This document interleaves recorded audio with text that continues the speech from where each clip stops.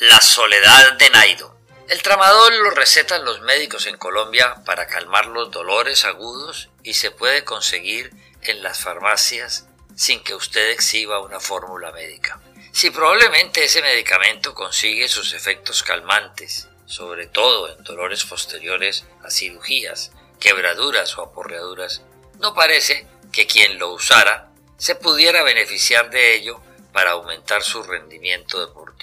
Por haber usado tramadol, la Unión Ciclística Internacional resolvió descalificar a nuestro Nairo Quintana, despojándolo de los premios y clasificaciones obtenidas en el Tour de Francia del 2022. El golpe anímico para el corredor lo fue tanto como resultó enervante para su patrocinador, el Arkea, y una cosa se juntó con la otra y el estigma cayó sobre el ciclista boyacense que tantas glorias le ha dado al deporte colombiano. Y aunque bien se dijo y se repitió que el tramadol no era doping, la mancha sobre la hoja de vida del boyacense ha caído con fiereza y hoy en día muchos vaticinan que ningún equipo lo recibirá. Y como además apeló a la instancia superior y perdió, es muy probable que deba retirarse de las competiciones.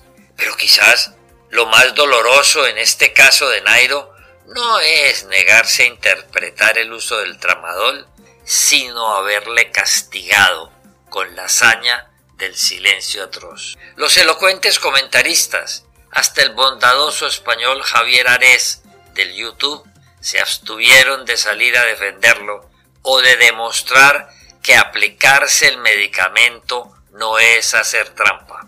El resultado final es que a Nairo lo han dejado solo y las voces de apoyo no se han oído. Justa o no justa, la determinación de la UCI tenía explicación y aunque seguramente fue mal planteada por sus consejeros y en especial por su abogado, el error de usar el analgésico se creció y terminó por abrazar con la soledad a quien solo nos ha dado muestras de empuje, sacrificio y patriotismo. Esta nota, por supuesto, no la leerán ni la oirán los mandamases del negocio del ciclismo, pero sí pasará a las manos y los oídos de muchos colombianos que pudiendo hacerlo no se solidarizaron con el ciclista y prefirieron darle tratamiento vergonzante. Es el peligro de ir por la gloria y desviarse en una curva del camino.